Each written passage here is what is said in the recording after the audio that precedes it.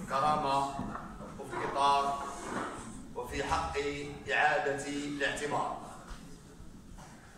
وأذكر الجميع. نكون معا إن شاء الله لإنجاح محطة 20 فبراير من أجل كرامة المواطن المغربي من أجل حقوقه الاجتماعية والاقتصادية. وأتمنى já pode.